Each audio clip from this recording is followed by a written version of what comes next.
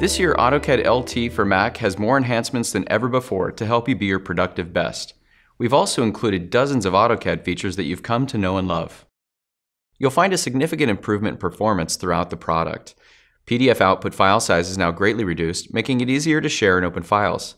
And text in your PDFs is now selectable and searchable.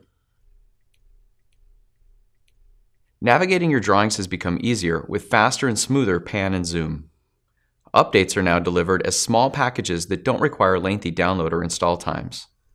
We've also continued our efforts to improve mixed platform team collaboration.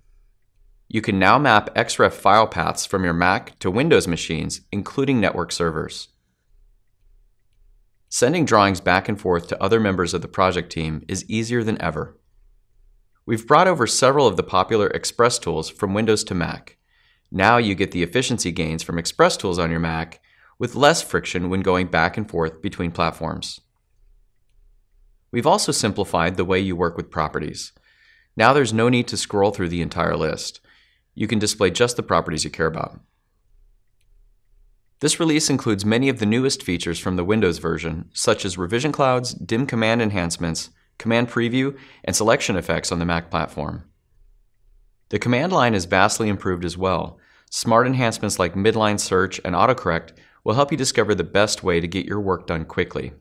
With improved performance and a more consistent AutoCAD experience, this is our best release yet. Now's the time to try AutoCAD LT for Mac and see how you can design every detail faster and more quickly than ever before.